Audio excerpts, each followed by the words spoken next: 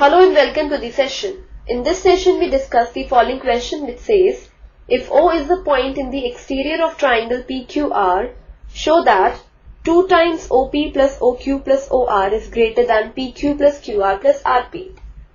First let's recall a very important fact which we will use in this question which says that the sum of any two sides of a triangle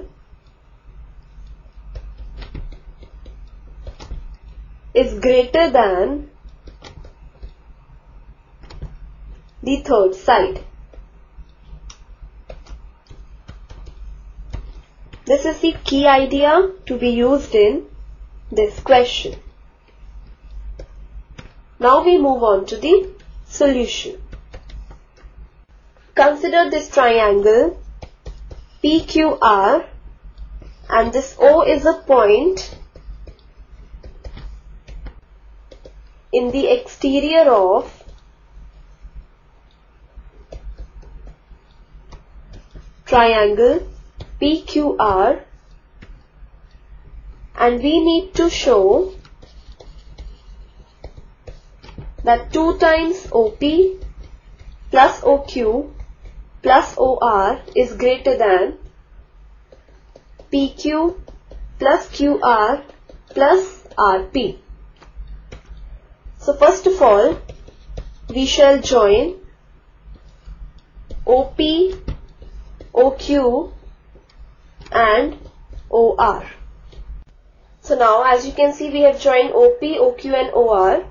So first, consider the triangle POQ. Now, since we know that the sum of any two sides of a triangle is greater than the third side, so for triangle POQ, OP plus OQ would be greater than its third side that is PQ. Let this be equation 1.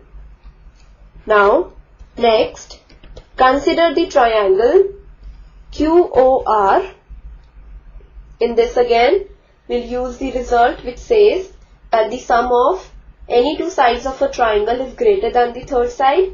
So using this result, we would get that in triangle QOR, OQ plus OR is greater than the third side of triangle QOR which is QR.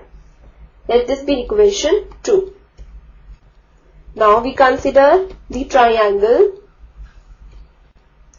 POR. In this also we will use the same result that the sum of any two sides of a triangle is greater than the third side. So for this triangle OP plus OR is greater than the third side which is PR. Let this be equation 3. Now adding